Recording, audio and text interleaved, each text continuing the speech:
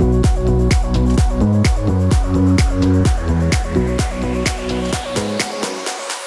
there, I'm Natalie Dodd and I'm from the White Ferns and this is my ANZ Junior Cricket Tip. Here's a couple of pointers when it comes to wicket keeping. First one is about keeping a wide target with your gloves, so holding it as wide as you can for as long as you can and also keeping nice relaxed elbows. So here's a couple examples.